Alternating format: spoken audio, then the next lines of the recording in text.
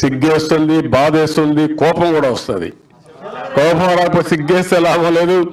వా- వాళ్ళకే సిగ్గే ఉంది. నిన్న ఒక ఎంపీ చూశారు కదా. చూశారు కదా ఏమైంది చూశారు కదా. వాడి సిగ్గుంటే నువ్వు నువ్వు తిరుగుతావా? నువ్వు తిరుగుతావా అని అడుగుతావు నీకు ధైర్యం అడుగుతున్నా. కాదు అదే మా మనం అంత ఆత్మాభిమానంతో బతికాం. సిగ్గు లేని వాళ్ళందరూ రాజకీయాల్లోకి వచ్చారు. ఆ సిగ్గు లేని వాళ్ళు మళ్ళా కులం పెడతారు మతం పెడతారు ప్రాంతం పెడతారు. చేసిన తప్పుల్ని కప్పిపుచ్చుకోవడానికి ఇలాంటి తప్పులు పనిచేసి ఊరికి ఒక ఆంబో తయారవుతున్నాడు.